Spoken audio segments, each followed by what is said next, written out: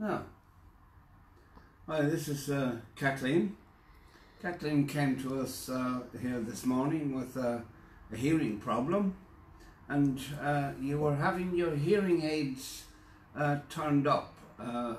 You mentioned earlier that the um, clinic, people at the clinic told you that your hearing was deteriorating very quickly. It Is right? yes, yes. Okay, please. Well, yeah. Uh, and how long have you had these hearing aids? Six years. Okay, and without them, up until now, you couldn't hear. No, I wouldn't be able to hear, just barely hear people. Okay, but you're hearing every word that I, I am say. hearing every word, yeah. Yeah, and I spoke to you from uh, down the other end of the room when you were still hearing every word, which Yes. is fantastic. And is it loud and clear? It is loud enough, yeah. Yes. Yeah. Okay.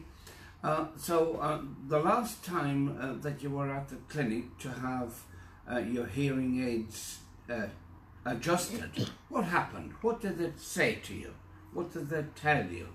They told me they'd have to turn them up that bit more because of my hearing, because I, I can't he- hear if I'm out at uh, in a pla- any for a night out or anything. I wouldn't be able to hear the people talking because everything would be blurred. Okay, okay.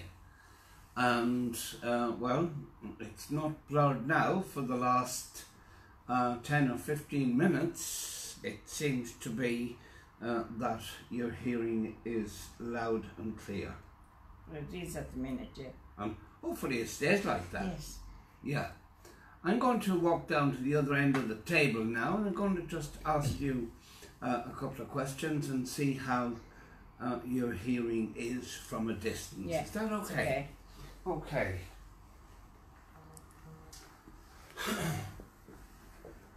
now, Captain, I'm down here at the other end uh, of the room, and uh, I'm going to ask you uh, a couple of questions. Yeah. How many in family do you have at the moment? I have seven children. Seven. My Yes. God. And what are their names? Um, Martin, Ian, Grania, Elaine, Brenda, Neil, and Trina. Very good. Oh, that's fantastic. Well, you're some woman for one woman.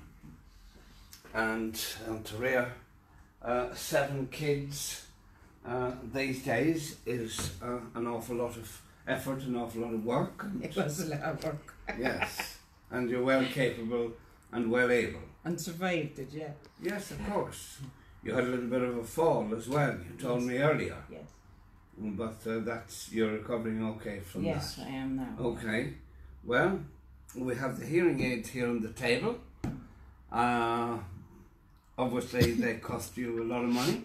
A lot of money, yes. How much? 5,400. 5,400. Okay. Well, uh, maybe uh, you can get. Uh, sell them second hand. They're no use second hand. Of course they're not. I'm joking, of course.